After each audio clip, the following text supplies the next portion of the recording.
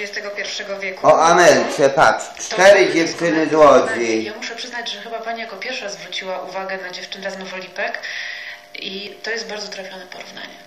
Czy pani też się czuje polą? E, Przyznam się Łódzką szczerze, polą? nie, nie, nie wiem, czy się czuję łódzką polą. Wiem, że Ada mi mówiła, Scholz czytaj tą Wojowiczyńską czytaj, a ja nie przeczytałam. Więc ja jestem na wyrost pola. Nawet filmu też pani nie, nie oglądała? Mm, Nie widziałam. Nie było żadnego w tyle głowy, y, żadnej historii czterech Nie, przyjaciółek? nie, nie, nie. Jeśli coś było w tyle głowy, to była taka książka, zresztą film też był, The Commitments. E, Irlandia, robotnicze osiedle, zespół muzyczny. To było w mojej głowie. Panie są urodzone w Łodzi? Ja jestem z Wałbrzycha. A ja jestem z Łodzi. Czy dziewczyny chcą się zabawić, to jest hołd złożony pani rodzinnemu miastu, które jest szare i jak sama y, pani pisze, albo jest coś stare, albo perelowskie. To znaczy, ja nie czy ja nie lubię to słowa hołd. No, on mi się źle kojarzy. Ale Łódź, e, wydawało mi się, że Łódź po prostu ma taką historię, że dobrze to wykorzystać. Żeby, żeby po prostu pokazać to, to miasto. Tylko to nie tylko tak, żeby wykorzystać... Jakby stąd, stąd moje unikanie słowa hołdu, bo to jest taka jakby wymiana, czy też, czy też trochę moja bezczelność. E, Ja pokazuję Łódź i, i, i pojawia się książka o Łodzi, tak? Ale z drugiej strony mm, ja też wykorzy wykorzystuję tą Łódź, tak? Więc to taka wzajemna podpinka. A pani y, z Wałbrzycha, skąd y, pomysł na y, współpisanie książki o Łodzi? Wałbrzych ma bardzo wiele wspólnego z Łodzią. Jest y, mniejszy, to jest taka troszeczkę Łódź w miniaturce. Włókiennictwo, przemysł, Włókiennictwo oczywiście. Y, Kiedyś Wałbrzych przecież stał na, na włókiennictwie, na dzierżoniów. Bielawa. Naturalnie, widzę, że tutaj pokrewną duszę znalazłam. Włókniarkami stały te miasta. To prawda. Te miasta stały kobietami przede wszystkim, bo mężczyźni zawsze mieli swój etos, oni szli do pracy, natomiast miasta stały kobietami, które musiały budować całą resztę. I jak system e, się zawalił w 1989 roku, e, to Łódź, Łódź, która była kobietą, kobietami e, stała, też upadła. Całkowicie upadłam. Czy to jest książka o tych kobietach właśnie? Dla między tych kobiet? innymi, między innymi, bo prawda jest taka, że jakbym nie chciała jakby zawężać, zawężać do, do kobiet, które wtedy straciły pracę, bo te kobiety już mają córki, nierzadko mają, mają wnuczki i wydaje mi się, że każde pokolenie znajduje coś innego. Ale prawda jest taka, że jednak przeoczono, przeoczono to miasto i przeoczono tą małą katastrofę. Ona, dla, mówię mała, ale dla wielu była wielka kiedy całe rodziny nagle przestały funkcjonować, tak? I się wdawnie patologia i, i zwyczajna bieda, tak? Jakie było bezrobocie? To ogromne było bezrobocie. Nie potrafię w tej chwili podać Pani liczby, ale jak upadały największe fabryki, to tak naprawdę w każdej rodzinie ktoś zostawał bez pracy, a były rodziny, kiedy już nikt nie pracował. Próbowano się ratować tą sławetną kureniówką, potem całą resztą, ale dowodem na to, na to jakby jaki to był upadek, to jest taki kierunek uniwersytecki jak socjologia biedy i najlepszy kierunek, znaczy najlepsze w ogóle prace powstają w Łodzi. Nie wiem, czy to powinno nas cieszyć. Piękny fragment e, w tej książce jest. To miasto żyło dzięki kobietom, to one je zbudowały i Dziewczyno. one utrzymywały. I co z nimi teraz Bujaj las, a nie nas. Nie ma żadnego szacunku dla kobiet. Bujaj to las, a nie nas. Bóg tę Łódź pokaże. Strasznie przejmujące południa z. Łodzi jest Cinderella. Elka Pierdzielka ze wschodu, Elka e, Wiercielka z zachodu, Wiesiolandia z północy, a Cinderella z południa, czyli masz tutaj tę swoją Łódź. Nie zdjął nawet wtedy, kiedy Łódź była w trudnej Ona sytuacji. myślała, że jest A czy teraz Łódź jest w lepszej Panem sytuacji, Bogiem. Pani zdaniem? Coś się zmieniło? Ja się cieszę, że Łódź inwestuje w kulturę. No to oczywiście to jest jakby w moim interesie. Z Łodzią to jest dziwna, dziwna historia, bo tutaj z kolei Łódź teraz żyje trochę na migrantach, czyli, czyli każdy, każdy ma, ma sło- słoikowego, który po prostu dosyła, dosyła pieniądze. Miasto się wyludnia. Miasto się bardzo wyludniło. Teraz Łodzianie wyjechali do Irlandii, do, do Wielkiej Brytanii, do Norwegii, do Finlandii. A tu, tutaj jest na pewno ten problem, że w zasadzie kto mógł, kto uciekł, a została, została cała reszta. I to nie, że ci ludzie są gorsi, tylko po prostu albo nie mają odpowiednich preferencji, ale wykształcenia, umiejętności. No jest tak jak jest. Cztery bohaterki książki, dziewczyny chcą się zabawić z różnych warstw społecznych, z różnych dzielnic. A jakie są Pani ulubione dzielnice Łodzi? Czy są takie? Czy postrzegają Panie to miasto jako jedną całość? Bałuty są niezwykłe. To jest miasto w mieście, miasto, które istnieje, natomiast ma swoją odrębną historię. Ja oczywiście y, Łódź widzę tylko z zewnątrz, ponieważ jestem tam gościem. Ja się nie wychowałam w Łodzi, chociaż widzę wiele paraleli pomiędzy moim rodzinnym miastem a Łodzią. Natomiast no, uważam, że to, nazwijmy to stare miasto Łodzi, chociaż nie wiem, czy można tak powiedzieć, no jest wyjątkowe, ma swoją duszę i ja bardzo to doceniam. A Pani jako łodzianka? Z Łodzią jest taka historia, że odkąd ona... Z Białego Stoku przez Warszawę do Łodzi przepędzili Żydów, tak pisze Anna Romanowicz czyli mówimy o XIX wieku. Poezji Biały Stok Miłości moja. Nawet ulice były zamieszkane albo przez mniejszość żydowską, albo przez właściwie mniejszość, większość niemiecką, albo przez Rosjan, albo przez Białorusinów, albo przez Polaków. I ten podział się utrzymywał. Jakby ta historia, którą nam pokazuje Raymond, czyli że kumpluje się Polak, Niemiec i Żyd, ona nie miałaby miejsca, ponieważ to były, to były, to były getta, to znaczy wszyscy, wszyscy siedzieli na swoich grzędach. Te podziały były, cały czas te podziały były. Jeśli chodzi o Bałuty, no to ja nie jestem wielką fanką Bałut. Z Bałutami było tak, że to było bardzo długo odrębna część, w ogóle nie dołączona do Łodzi i żeby było zabawne, Żydzi z Żydami walczą o Tel Awiw w Warszawie. Anna Romanowicz, poezji. Białystok miłości moja. dzielnica, ale nie wiem, czy akurat najbardziej, najbardziej klimatyczna. No każdy ma jakieś doświadczenie z dzieciństwa, tak jak się wychowywałam na Redkinie, dla mnie Redkin jest najważniejsza. Aczkolwiek wiem, że jak przyjedzie i pojedzie na Redkinie i zobaczy po prostu blokowisko, to powie, o czym ona w ogóle mówi. Pisze. Wspomniała Pani o czymś takim jak Pisze. świadomość e, społeczna, o Łodzi. O. Tak sobie myślę, że gdybyśmy wyszły teraz na ulicę Czterech. Miałpodol Radia i e, przeprowadziłybyśmy sondę, czterech, o to na pytanie, co się Panu, Pani kojarzy z Łodzią, jaki Ro. film, to byłaby to Zina. Ziemia Obiecana. A potem długo, długo nic i potem chyba tylko film Daleko od szosy. Czy o Pani czterech się rodzinach żydowskich wpasować e, w taką dziurę, e, w której w kulturze polskiej, w świadomości Polaków Łódź się znajduje, moim raz, zdaniem? Nie, nie miałam, nie mieliśmy takiej intencji. Właśnie Adam, Adam absolutnie tylko jakoś to skoczyło. Najzwyczajniej na świecie. Mówię, to jest literackie miasto, to jest miasto, które może, może dużo pokazać. No, jakby problemem jest to, że nie tylko Polacy mało wiedzą o Łodzi, ale Łodzianie mało wiedzą A to jest książka pisana z myślą o Łodzianach, dla Łodzian, czy jednak z myślą o tych, którzy nigdy w Łodzi nie byli i chcieliby się na przykład przespacerować śladami bohaterów, bohaterek Pani książki? Ja, Mi się wydaje, że to nie istnieje taki podział, bo na pewno to nie jest przewodnie plastyczne. Czy wszyscy Łodzianie akurat tak postrzegają Łódź, to ja nie wiem. No ale są tam konkretne adresy. Tak, oczywiście ulice, są, oczywiście są konkretne adresy i konkretne ulice, bo to chodziło o to, żeby ta postać była bardziej, znaczy żeby cała książka była bardziej realistyczna. Natomiast wydaje mi się, że to jest książka, niezależnie gdzie ktoś kto mieszka, to może będzie miał ochotę ją przeczytać. Jest taka moda na takie podróże turystyczne y, szlakiem bohaterów powieści. I to już gdzieś od dawna dawna funkcjonuje, może nawet wcześniej. Ostatnio Elena Ferrante chyba też y, wznowiła ten y, trend duże podróże po Neapolu. Miasto zresztą w pewnym sensie podobne do Łodzi i historia jego jest też w pewnym sensie podobna. Natomiast ja nie miałabym nic przeciwko temu, gdyby takie podróże po Łodzi były. To myślę, że to byłoby bardzo ciekawe. Y, miejsca, które pokazujemy w Łodzi są atrakcyjne, będę się przy tym upierała. No i zapraszam do Łodzi oczywiście. Ale zanim nasi słuchacze wybiorą się do Łodzi, rozmawiajmy o książce Dziewczyny chcą się zabawić. Akcja tej książki toczy się pod koniec lat 80., czyli y, upada PRL, już są pierwsze no. objawy załamania systemu, to. ale też jest e, historia z 1944 roku wpleciona o, w tę książkę. Rok 44 do Warszawy zbliża się Armia Czerwona, do Litzmannstadt e, zbliżał się koniec świata. Mm, dlaczego zdecydowały się Panie jeszcze wpleść w tę książkę? Wątek historii z getta łódzkiego. Czterech. Chcieliśmy, żeby ta książka miała taki element magiczny. Rodzin. Nie wiem, czy Pani pamięta, chyba wszyscy pamiętają.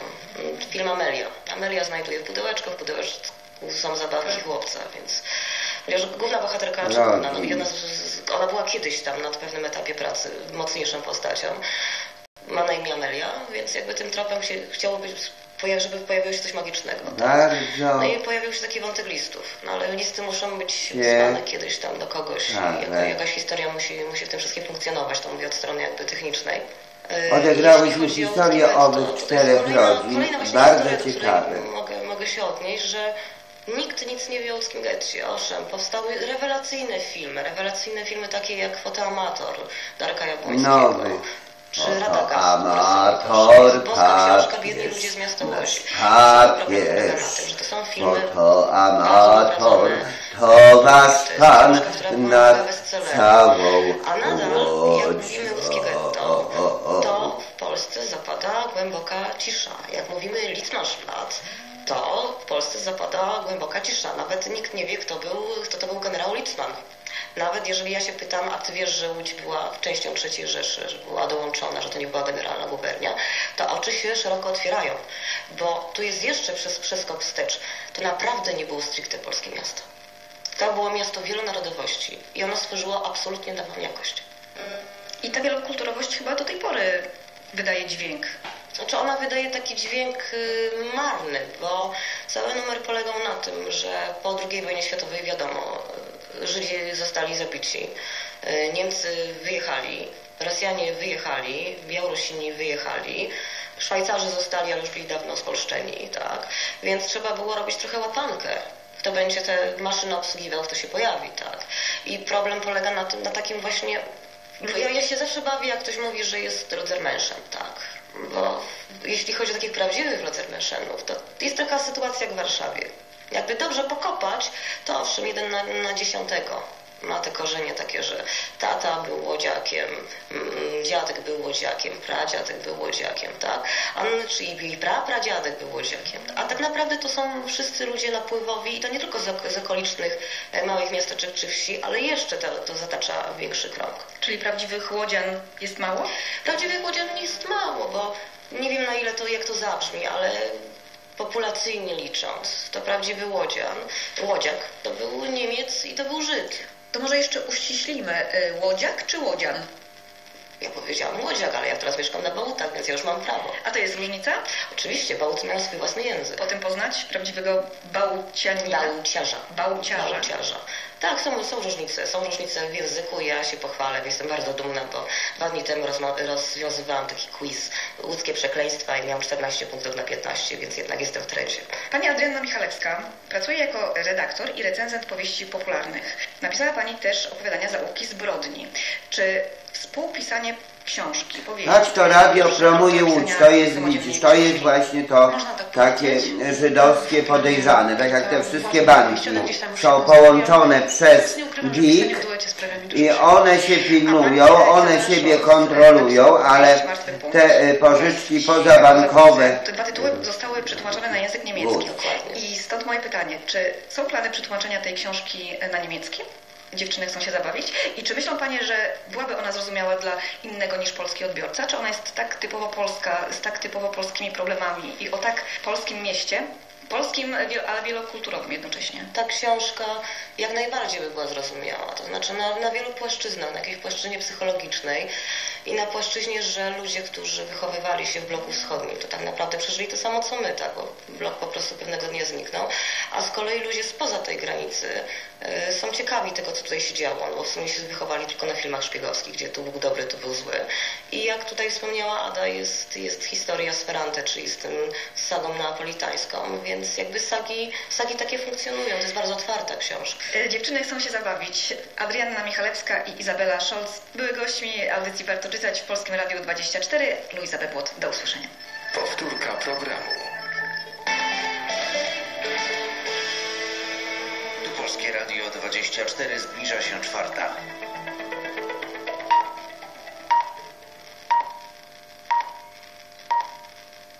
Czas na informacje dnia. Paweł Zieliński, zapraszam. Komisja weryfikacyjna do spraw stołecznych reprywatyzacji podczas posiedzenia niejawnego, które zaplanowano na 11, podejmie decyzję w sprawie kamienicy przy Schregera 72, budzącym wątpliwości zwrotem gremium pod przewodnictwem Patryka Jakiego zajmowało się pod koniec listopada. Podczas rozprawy były burmistrz dzielnicy Bielany Zbigniew Dubiel przyznał, że nie interesował się reprywatyzacją kamienicy, także wówczas, gdy był radnym Warszawy. Brak zainteresowania burmistrza losem lokatorów budynku potwierdził mieszkaniec Marek Pogorzelski. Po zakończeniu rozprawy przewodniczący komisji Patryk Jaki skomentował, że zeznania Dubiela mogą dowodzić wielu nadużyć. Na pewno z dzisiejszego przesłuchania zostanie jedno zeznanie świadka, cytat, jak burmistrz Bielan z Platformy Obywatelskiej miał się zwrócić do lokatorów, wasze ulice, nasze kamienice i to mówi wiele. Natomiast innego zdania był poseł Robert Kropiwnicki z Platformy Obywatelskiej. Świadkowie tak naprawdę nic nie wnoszą. Bardziej chodzi o kontekst polityczny niż o kontekst merytoryczny i to jest dość przykre. Decyzja Komisji Weryfikacyjnej ma zostać ogłoszona podczas konferencji prasowej, którą zaplanowano na godzinę 12.45. Rozpoczyna się dziesiąty Europejski Kongres Gospodarczy w Katowicach. Przez trzy dni ponad 11 tysięcy osób będzie rozmawiało o najważniejszych wyzwaniach gospodarczych Polski, Europy i świata. Organizator Wojciech Kuśpik podkreśla, że jedną z ważniejszych kwestii omawianych w Katowicach będzie ogłoszony na początku maja projekt unijnego budżetu po 2020 roku. Myślę, że jest to wydarzenie, które ma największą chyba w ostatnich latach reprezentację przedstawicieli Komisji Europejskiej. Trzech wpływowych komisarzy unijnych, blisko 10 dyrektorów różnych dyrektoriatów generalnych, też bardzo wpływowych osób w Komisji Europejskiej. Uczestnicy kongresu to m.in. polscy i zagraniczni politycy, przedsiębiorcy oraz dziennikarze.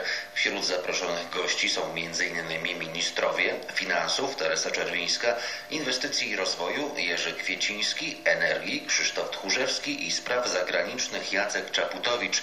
Polskie Radio objęło Europejski Kongres Gospodarczy patronatem radiowym.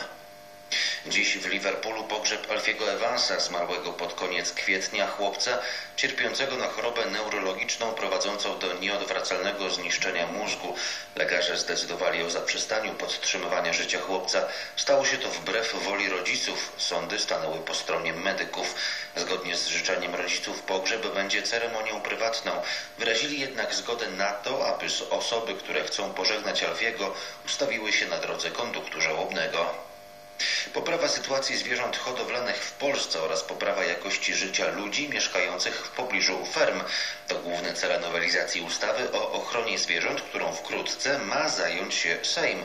Poseł PiS i sprawozdawca ustawy, przewodniczący Rady Mediów Narodowych Krzysztof Czabański mówił w Polskim Radiu 24, że nowelizacja ma też uregulować wydatki związane z ochroną zwierząt. Jest to projekt bardzo szeroki, bo on dotyczy generalnie w ogóle sytuacji zwierząt w Polsce. Jest to próba ucywilizowania tej sytuacji, poprawienia warunków, a oprócz tego zlikwidowania patologii, jaką jest wydawanie, marnotrawienie publicznych pieniędzy na ochronę zwierząt w Polsce. Propozycje zmian w ustawie zakładają m.in. zakazy wykorzystywania zwierząt w cyrkach, trzymania psów na łańcuchach oraz hodowli zwierząt na futra. Nowelizacja zakłada też zmianę zasad działalności schronisk dla zwierząt oraz ich finansowania. Pod poselskim projektem nowelizacji ustawy o ochronie zwierząt podpisało się kilkudziesięciu parlamentarzystów Prawa i Sprawiedliwości, w tym prezes partii Jarosław Kaczyński. W Jerozolimie zostanie dziś otwarta ambasada Stanów Zjednoczonych. W uroczystości weźmie udział m.in. córka prezydenta Donalda Trumpa, Iwanka oraz jej mąż Jared Kushner. Będą reprezentować amerykańskiego przywódcę jako jego bliscy doradcy. Otwarcie ambasady zbiega się z 70. rocznicą proklamowania niepodległości przez Izrael. Wydarzenie budzi kontrowersje w związku ze sporem żydowsko-palestyńskim o status tego miasta. Prezydent Donald Trump nie zdecydował się na wizytę w Izraelu. Ma na żywo połączyć się z uczestnikami uroczystości. Czas na prognozę pogody. Prawie w całym kraju pochmurnie i deszczowo. Dodatkowo w centrum, na wschodzie i na południu zagrzmi. E, pogodnie jedynie w zachodniopomorskim i na ziemi lubuskiej. Temperatura od 17 stopni w Rzeszowie, 20 w Suwałkach do 24 w Szczecinie. Wschodni wiatr słaby i umiarkowany w czasie burz przyspieszy i będzie porywisty.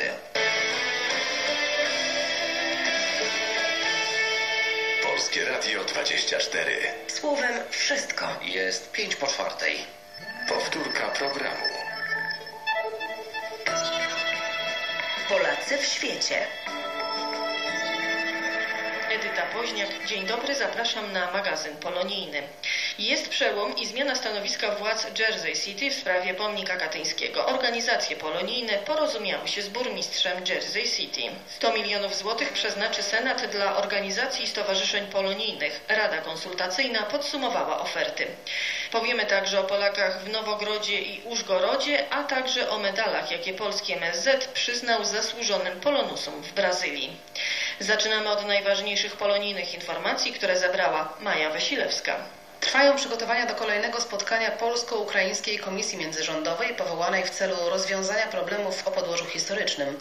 Poinformował o tym ukraiński wiceminister spraw zagranicznych. Ukraińcy w zeszłym roku zakazali ekshumacji i upamiętnień polskich ofiar spoczywających na Ukrainie. O szczegółach z Kijowa Paweł Puszko. Międzyrządowa komisja, której z polskiej strony przewodniczy wicepremier Piotr Gliński, zaś z ukraińskiej wicepremier Paweł Rozenko, obradowała w lutym w Warszawie. Nie doszło wówczas do porozumienia. Kolejne spotkanie według nieoficjalnych informacji miało się odbyć w kwietniu, jednak jak wyjaśnia wiceszef ukraińskiego MSZ Wasyl Bodnar, wciąż trwają przygotowania do rozmów. Pewnie instytucji mają między sobą jeszcze popracować. Niektóre instytucje, w tym polski i ukraiński Instytuty Pamięci Narodowej, muszą ze sobą jeszcze popracować, aby stworzyć akceptację akceptowalny przez obie strony format rozwiązania trudnych pytań, poczynając od problemu upamiętnień i ekshumacji ofiar po tematy związane z polską nowelizacją ustawy o IPN.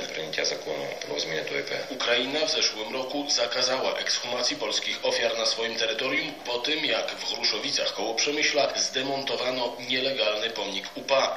Z Kijowa Paweł Buszko, Polskie Radio.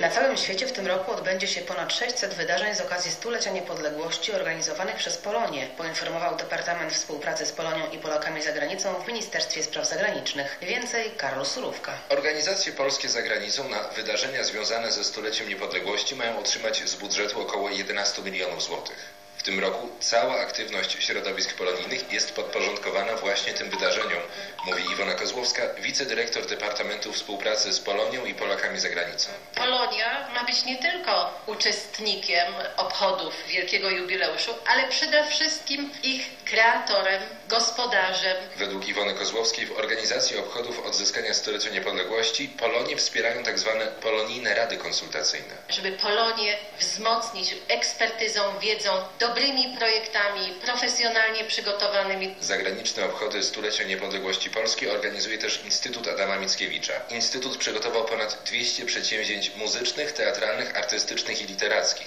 Mają one zachęcić zagranicznych twórców do inspirowania się polską kulturą. Karol Syrówka, Polskie Radio. Wśród wydarzeń zaplanowanych Instytutu Adama Mickiewicza są m.in. koncert Moniuszko i Paderewski w Wiedniu, prezentacja polskiego jazzu w Bremie, przedstawienie pana Tadeusza w Wilnie i wystawa polskiego designu w Mediolanie.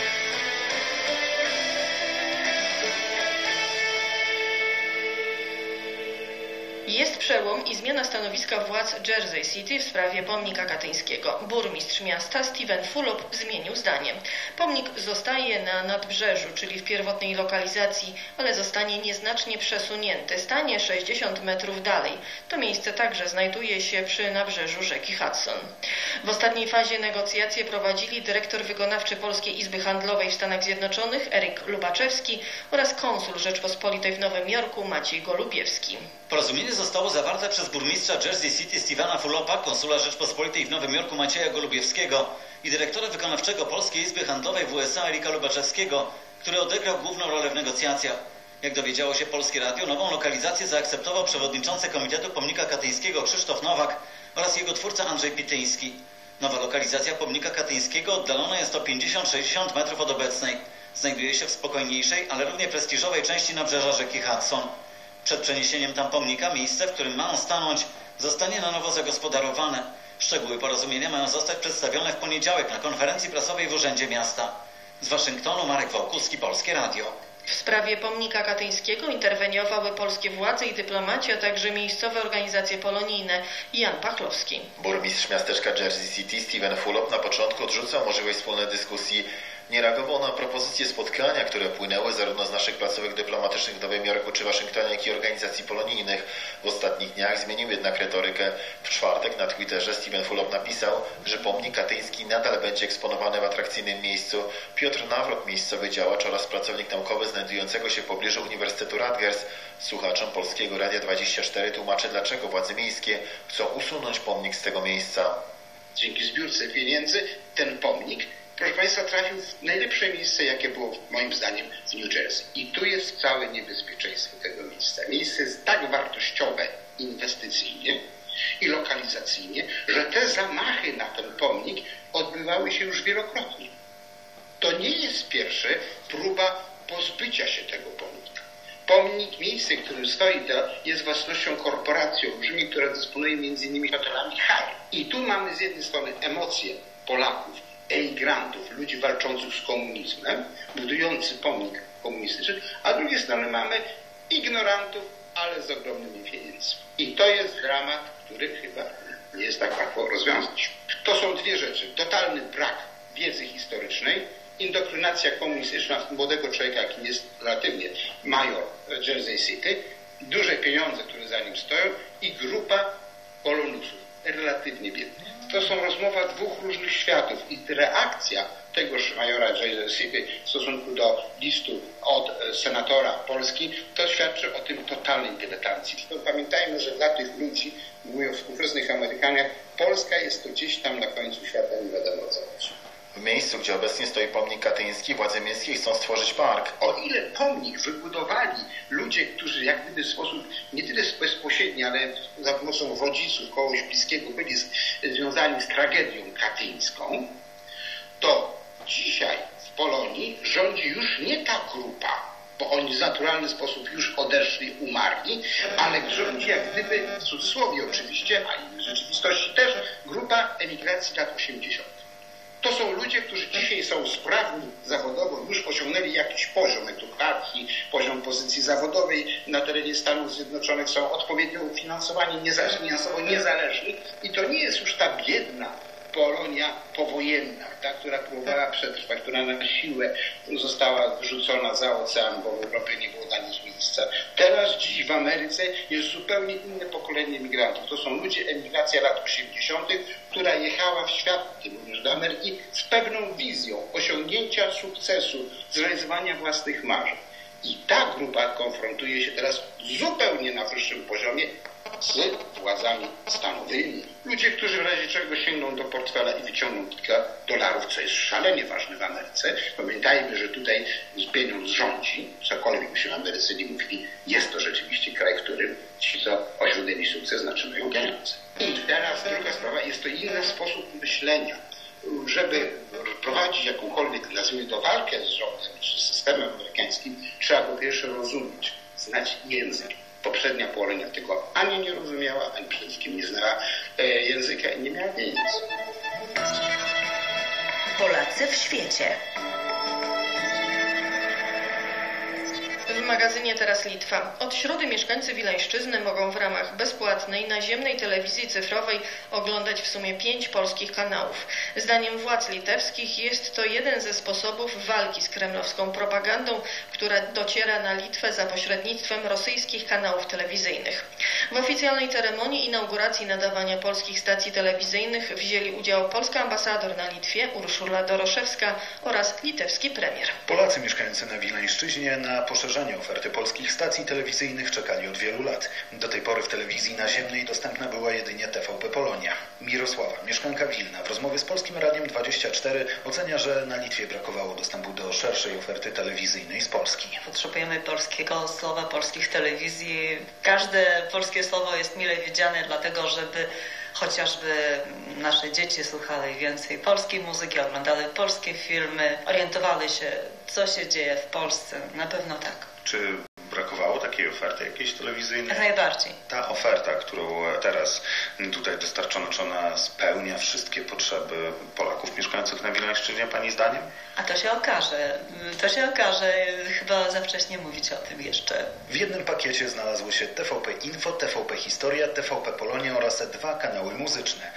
Stacje telewizyjne można odbierać na terenie Litwy Południowo-Wschodniej w miejscowościach licznie zamieszkałych przez społeczność polską. Telewizje mają dostarczać obiektywnej i bezstronnej informacji, mówił na Wileńskiej Wieży Telewizyjnej podczas inauguracji nadawania szef litewskiego rządu Saulius Skwernialis. W tych ciężkich czasach dostęp naszych obywateli do obiektywnych informacji jest bardzo ważny. Wojna informacyjna, propaganda, fałszywe wiadomości są wyzwaniem dla wielu państw. Dlatego sprawą honoru każdego kraju jest zapewnienie jak najszerszego dostępu do obiektywnej informacji i cieszę się, że Litwa idzie tą drogą. Gdzie mieszkają nasi współobywatele, polska mniejszość narodowa, z powodu różnych okoliczności miała lepszy dostęp do kanałów nie do końca dla nas przyjaznych niż do telewizji litewskich czy polskich. Dlatego po upływie roku od momentu powstania pomysłu, że jako państwo powinniśmy stworzyć mieszkańcom Wileńszczyzny możliwość oglądania kanałów informacyjnych oraz rozrywkowych z Polski, udało nam się ten cel osiągnąć. Nie wątpię, że nasi obywatele mieszkający na Litwie Południowo-Wschodniej za pomocą pilota wybiorą pięć kanałów w języku ojczystym zamiast tych, w których rozpowszechniana jest antylitewska, antypolska i antypaństwowa propaganda. Premier Litwy wyraził też nadzieję, że społeczeństwo na Litwie zjednoczą jeszcze bardziej wartości demokratyczne, praw człowieka, a także prawa międzynarodowego, co jest niezwykle ważne w dzisiejszej demokratycznej Europie. A to musimy robić tak, żeby Polacy na Litwie płacili polskie telewizje, a nie rosyjskie. To jest duże zagrożenie. Powiedział Polskiemu Radiu premier Skwernialis. Transmisję polskich stacji telewizyjnych na Litwie wspólnie z premierem Litwy zainaugurowała ambasador Polski Urszula Doroszewska. W tym pięknym dniu majowym żyjemy jeszcze atmosferą świąt 3 maja, które w tym roku Polska i Litwa obchodziły wspólnie. Ten przykład wielkiego osiągnięcia demokracji i budowa państwa, jakim była Konstytucja 3 maja, pokazał światu, że Polacy i Litwini mogą razem wiele zdziałać. Cieszę się bardzo, że i tym razem stworzyliśmy projekt kluczowy dla y, dobrych relacji naszych krajów. Wpłynie on na lepsze wzajemne zrozumienie i na umocnienie stabilności obydwu naszych krajów tym trudnym i pełnym zagrożeń świecie. Szczególnie cieszę się z tego, że zamieszkali na Litwie Polacy będą mieli możliwość kontaktu żywego z polską kulturą, polskim językiem i informacją nadawaną z Warszawy, a także będą mieli dostęp do muzyki, pieśni, do całego tego spektrum kultury popularnej kultury wysokiej, które prezentuje. Oczywiście mamy nadzieję, że te programy spodobają się także innym narodom, narodowościom zamieszkującym Republikę Litewską. I chciałam bardzo podziękować wszystkim po obydwu stronach, i w Polsce, i na Litwie, wszystkim osobom, które starały się, aby ten projekt został zrealizowany i w szczególności bardzo serdecznie chciałam podziękować panu premierowi Litwy. Szef Centrum Litewskiego Radia i Telewizji Remigiusz Szeris wyraził zadowolenie z tego, że udało się zrealizować ten projekt. Dziękuję rządowi, stronie polskiej, wszystkim, którzy bardzo aktywnie uczestniczyli w realizacji i finansowaniu projektu. Dziękuję swoim ludziom i personelowi technicznemu ze strony polskiej. Ci ludzie wykonali pracę konieczną do uruchomienia tej usługi. Remigiusz Szeris przypomniał też, w jaki sposób można odbierać polskie programy telewizyjne w ramach naziemnej telewizji cyfrowej na Wileńszczyźnie. Podkreślam, że aby oglądać polskie kanały trzeba będzie dokonać automatycznego przeskanowania programów w swoich odbiornikach telewizyjnych. Nadajniki zostały zamontowane w Wilnie, w Solecznikach i Święcianach, dlatego też sygnał pokrywa wszystkie miejscowości znajdujące się w tym regionie. W uroczystości wziął też udział Clayton Erklewski Louis Jean z telewizji polskiej, który zaznaczył, że strona polska jest otwarta na dalsze propozycje. Chciałbym powiedzieć, że niezmiernie nam miło brać udział w tej tej uroczystości. Jest to dla nas bardzo ważne móc docierać do Polaków mieszkających tutaj na Litwie, będących częścią społeczności narodu litewskiego.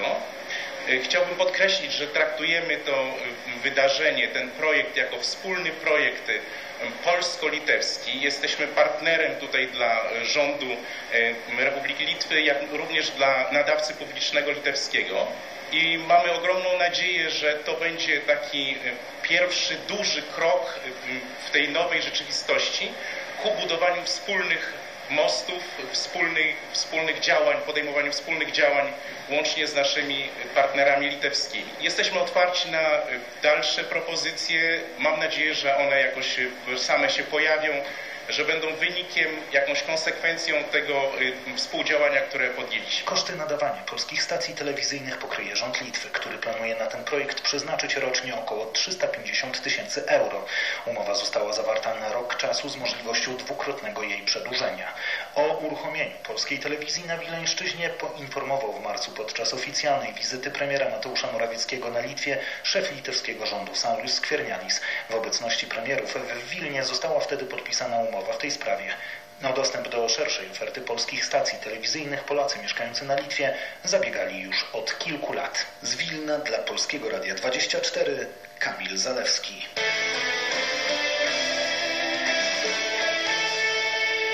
Milionów złotych, tyle w tym roku trafi do środowisk polonijnych. Do Senatu złożono ponad 600 wniosków. Chodzi o wspieranie działalności na rzecz Polonii. Rada konsultacyjna podsumowała dotychczasowe wnioski. Informacje w tej sprawie zebrał Michał Fedusio. Prezydium Senatu rozpatrzyło w sumie 647 ofert na realizację zadań publicznych w zakresie opieki nad Polonią i Polakami za granicą. Ze względu na uchybienia formalne lub rachunkowe pozostawiono bez rozpatrzenia 33 oferty.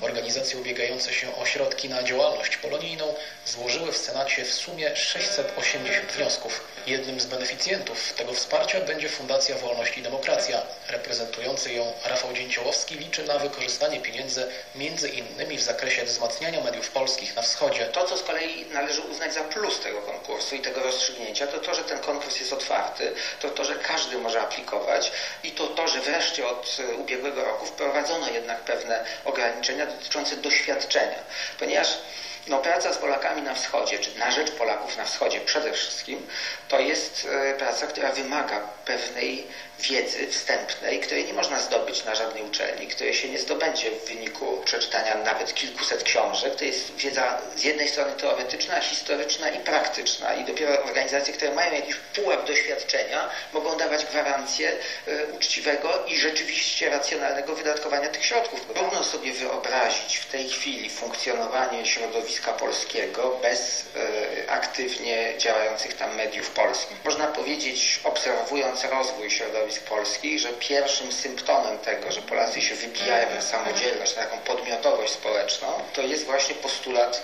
tworzenia własnych periodyków, własnych mediów, które spełniają dwojaką rolę. No, pierwsza to jest ta integracyjno-informacyjna, taka, którą spełniają też w jakimś stopniu, szczególnie tę informacyjną, media polskie tutaj w kraju, ale przede wszystkim jest to krystalizacja elit, to znaczy poprzez media filtrują się ci najbardziej aktywni. Zachowanie polskiej tożsamości, zachowanie języka, ale też przekaz. To jest niesłychanie ważne, żeby obok zdolności, świadomości językowej przekazać też pewne, pewną kwantum tradycji, doświadczenia historycznego, samoświadomości, która kształtuje poczucie polskiej narodowości. Z naszego doświadczenia praktyków pomocy i wsparcia dla mediów, jeden egzemplarz gazety jest czytany przez kilka osób, a bywa, że i przez kilkanaście. Im mniejszy periodyk, tym większą, przez większą liczbę rąk przechodzi, zanim zostanie ostatecznie odłożony na półkę. I w związku z tym można mówić mniej więcej, że właściwie większość e, populacji Polaków na wschodzie ma kontakt z polskimi mediami.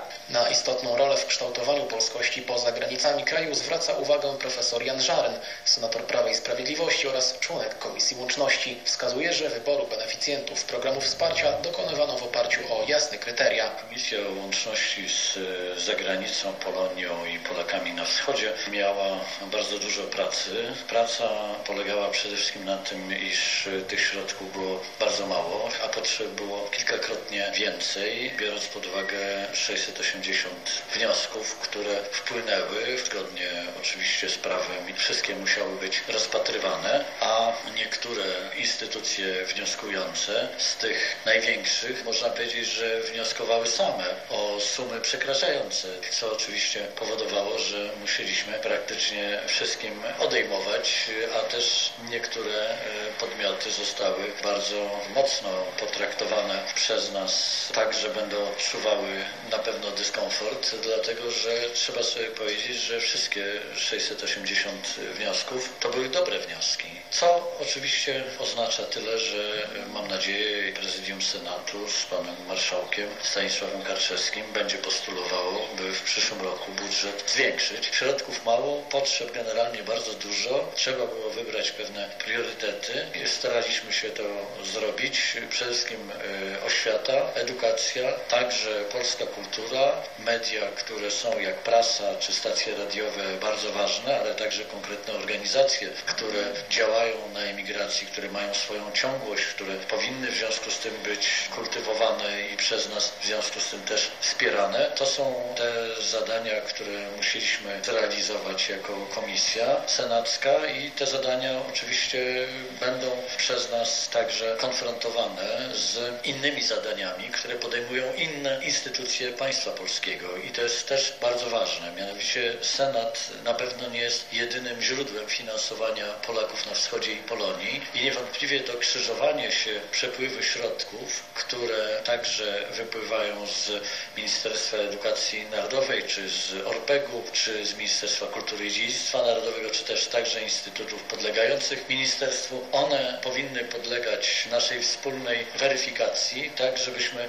nie dawali pieniędzy w stronę, która już te pieniądze raz otrzymała. Złożone wnioski opiewały na kwotę blisko 276 milionów złotych. Pieniądze otrzymają też innymi Fundacja Wspólnota Polska, Fundacja Pomoc Polakom na Wschodzie czy Caritas Polska. Dla Polskiego Radia 24 Michał Fedusio.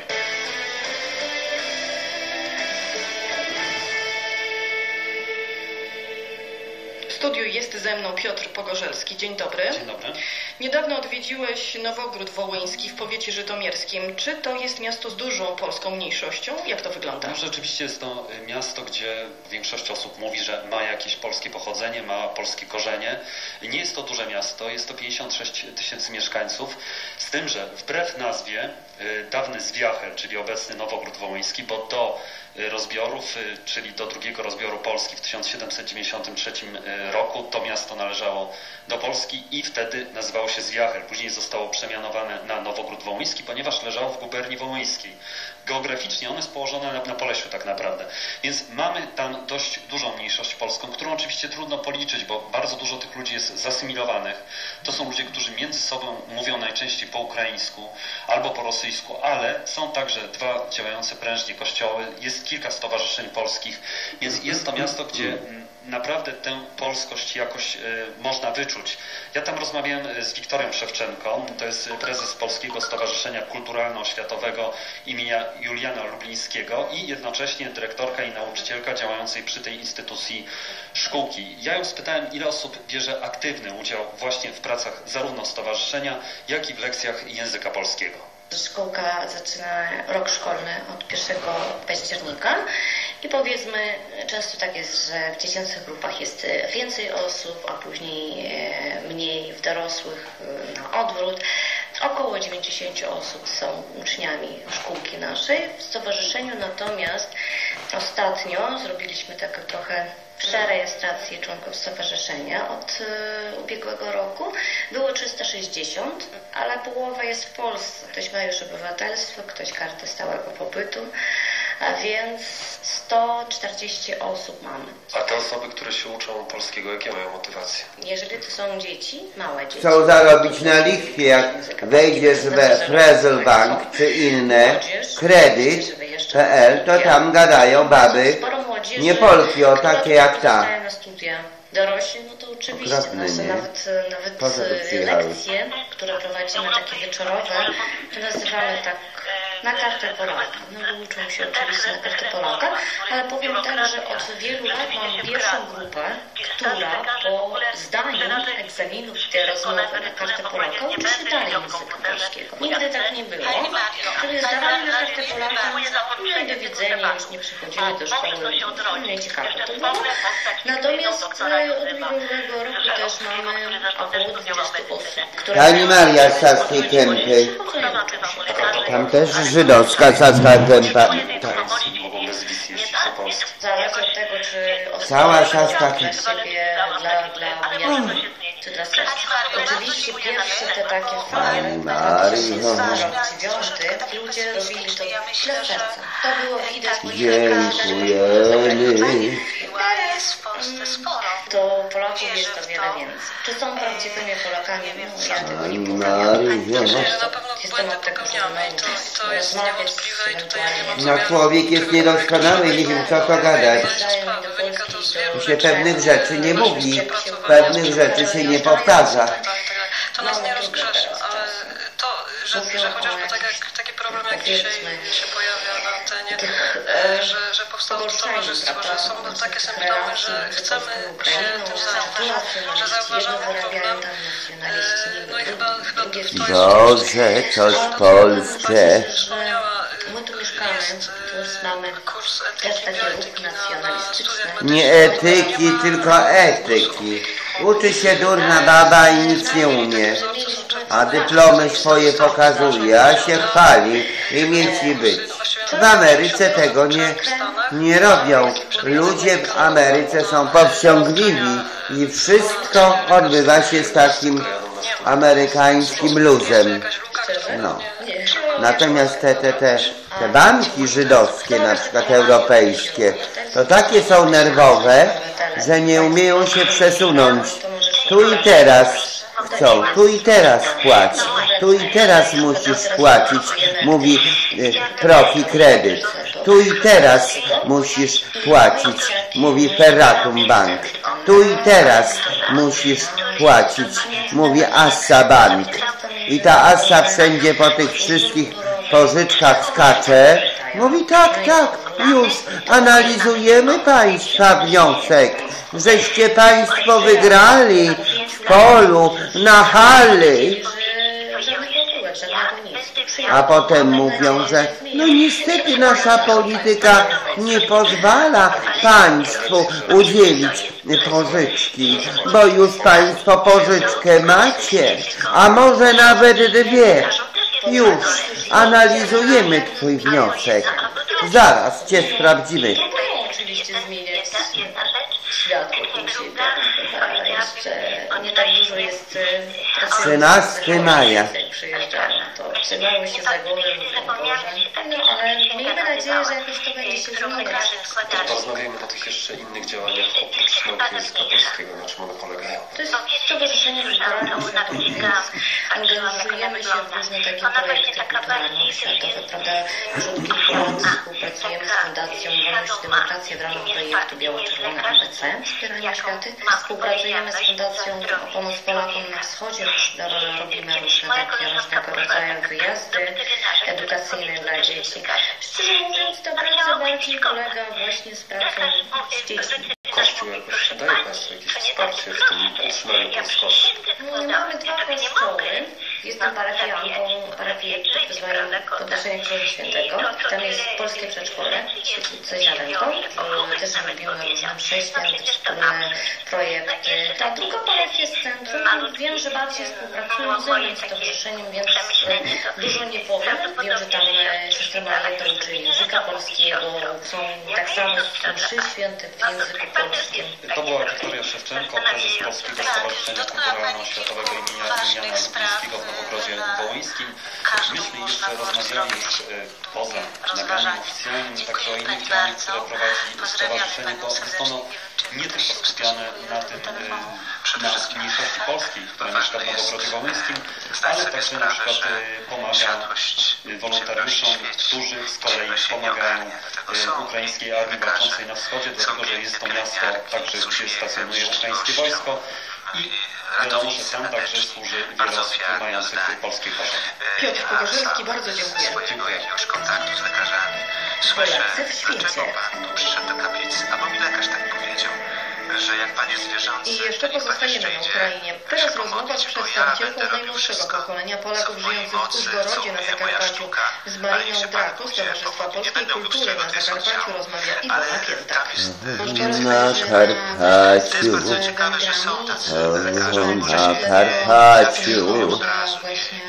Większość pochodzi z Węgier albo ze Słowacji, ale tym niemniej e, mieszka tam też dużo Polaków. Jak wygląda to życie społeczności polskiej? Mamy siedzibę e, towarzystwa w Wygrodzie, ale ci członkowie e, towarzystwa są z całego Zakarpacia, więc e, nie zawsze się widzimy, ale na jakieś takie główne spotkania to większość przyjeżdża.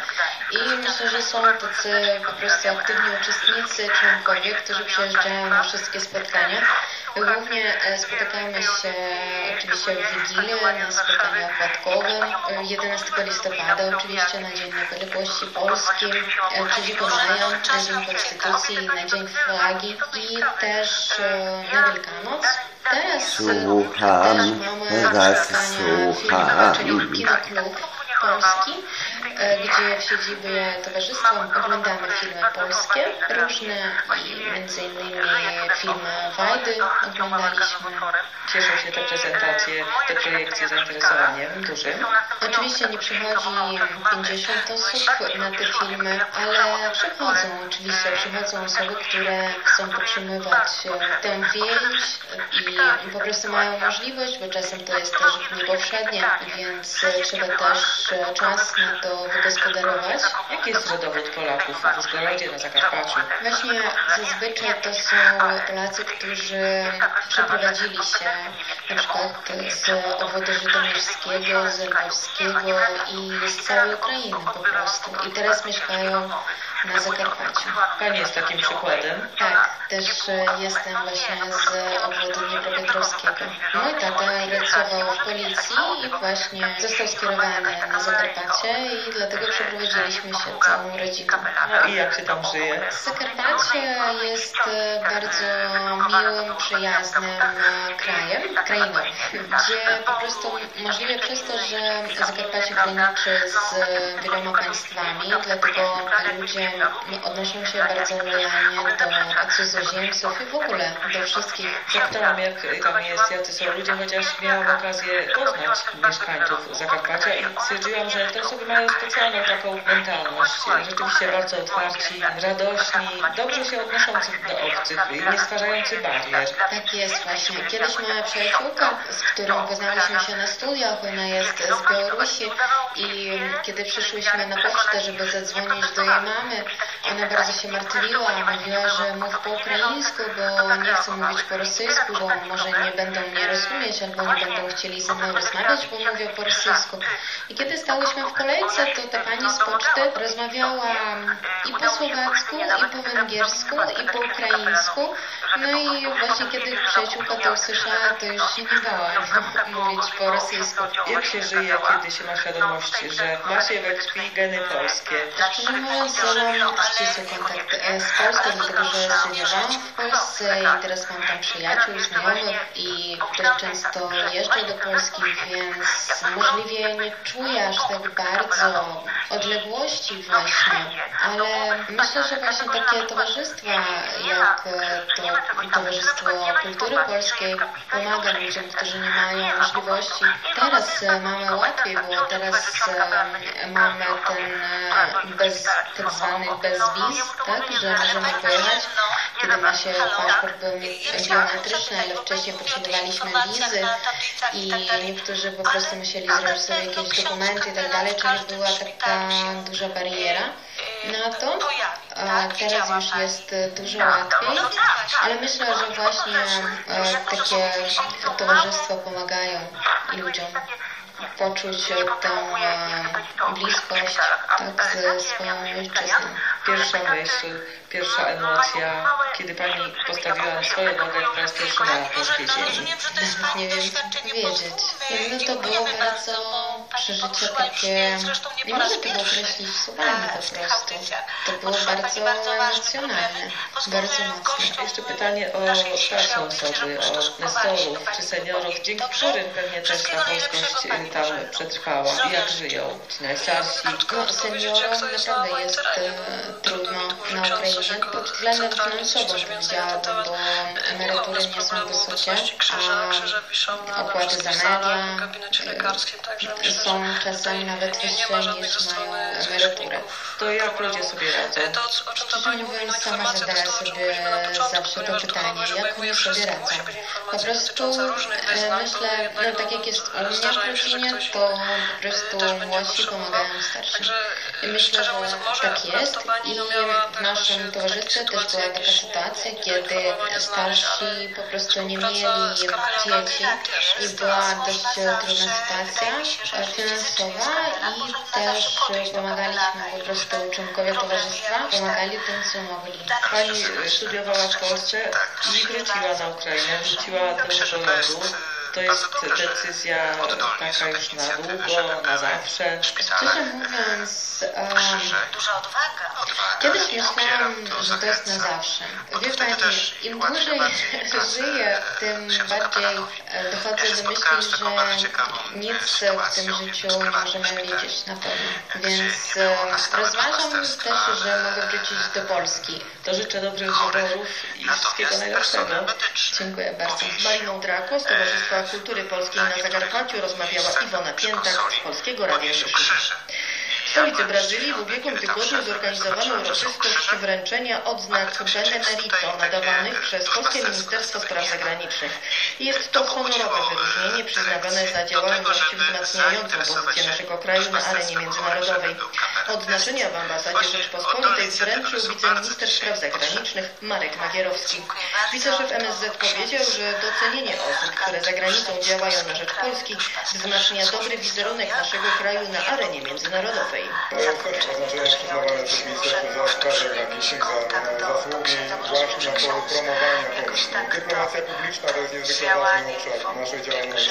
także, czyli nie taka twarda dyplomacja, która właśnie polega na twardych konsultacjach i negocjacjach politycznych, tylko właśnie działania w różnych obszarach, miękkie działania, które promują Polskę, promują naszą kulturę, promują naszą muzykę, nasz film, ale dzięki temu, poprzez tego typu promocję, łatwiej jest wtedy budować wizerunek Polski, który pomaga potem także polskim firmom i rozwojowi współpracy gospodarczej. Odznaczeni zostali między innymi Andrzej Bukowiński, reżyser, konsul honorowy w São Paulo oraz Aleksandra Pluta, badaczka polskiej imigracji w krajach Ameryki Łacińskiej, autorka książek poświęconych tej tematyce. I to była ostatnia informacja w dzisiejszym wydaniu magazynu polonijnego. Edyta Poźniak, dziękuję i do usłyszenia.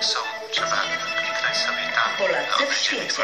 na temat tej pielgrzymki do Lourdes. Jakub, ja powiedziałem, to jest taka terapia duchowa. Jeżeli ksiądz Życie z duszą czy bez? informację, to powtórzę jeszcze w tych audycjach. Zachęcam do uczestnictwa Jaka małżonka Temat najnowszego, dziesiątego, a więc jubileuszowego wydania rocznika Teologia Polityczna. Solidarność i miłosierdzie, dwa słowa, które być może dziś dla niejednego Polaka trącą naiwnością, może patosem, ale czy słusznie? E, O tym porozmawiam z Dariuszem Karłowiczem, filozofem, eseistą, redaktorem Teologii Politycznej. Dobry wieczór. Dobry wieczór E, czy ten temat, Solidarność i miłosierdzie, wziął się z konstatacji, że mimo iż w polskim życiu publicznym są one często odmieniane przez wszystkie przypadki, często słyszymy Solidarność i miłosierdzie, słyszymy o potrzebie Solidarności i miłosierdzia. Tak? Czy to nie jest tak, że realnie rzecz biorąc mamy do czynienia z deficytem tych, można powiedzieć, takiego realnego e, wcielenia tych No, z pewnością, tak, tak, tak. Znaczy to jest tak, że ten deficyt ma rozmaite wymiary. No po części jest to deficyt wynikający z ludzkiej niedoskonałości i niedoskonałości ludzkich tworów społecznych. No ale w Polsce tu i teraz, czy tylko z tego? No to może właśnie jest dobre pytanie. Też nie tylko, też nie tylko z tego, ale, to, ale trzeba sobie przejść te wszystkie poziomy. Więc pierwszy po prostu bierze się z tego, co teologowie nazywają skutkami grzechu pierworodnego. W związku z tym, że ludzka natura konstytuuje się w formach społecznych, które taką niedoskonałość wpisaną. Po, dru- dru- to jest pierwszy punkt. Ten jest oczywisty, był zawsze i nic się tutaj pod tym względem nie zmieni. E, Drugi jest poważny i łączy się z sytuacją współczesnej kultury. E, e, Ja myślę, że indywidualizm, który jest dzieckiem liberalizmu, jego pozytywnym bohaterem, no, skutkować musi kryzysem tych pojęć. Znaczy myśmy wiele, myśmy, mówię, myśl filozoficzna, myśl polityczna od lat Nie wiem czemu oni uwielbiają w Radiu Maryja indywidualizm w formie, która jest zalecana w Czerwone gitary. liberalnej połączyć z jakimiś formami solidaryzmu, miłosierdzia wobec bliźnich we wszystkich rozmaitych znaczeniach tych słów i to jest zawsze bardzo kłopotliwe. Znaczy to jest ucieczka zwykle w jakieś struktury państwowe, pomoc społeczną, różne tego typu zjawiska, ale one ani solidarności, ani miłosierdzia nie, mm, nie zastępują. I ten y, kulturowy kontekst, y, kulturowo-ideowy jest drugą przyczyną, dla której mamy z tym kłopot. A ten trzeci jest rzeczywiście osobliwie polski, y, bardzo złożony, bym powiedział nawet poskręcany i posplatany jak żmud, ale pewnie kilka wątków dałoby się wyróżnić. Pierwszy z nich łączy się z modelem przyjętym polskiej transformacji, która mm, za sprawą prostodusznych y, wielbicieli neoliberalizmu przyjęła postać transformacji niesolidarnej. Mówię to z całym przekonaniem. No transformacji, która uważała solidarność społeczną za balast, którego należy się pozbyć, ponieważ wedle tej naiwnej recepty tylko realizacja indywidualnych egoizmów, miała pomóc, czy mogła pomóc ukonstytuowaniu się harmonii wedle nowego klucza, prawda? I takie głosy dobywały się też z Kościoła. O, dobywały się niestety z bardzo wielu stron. Naturalnie przede wszystkim z polityki, która uważała, że każda y, forma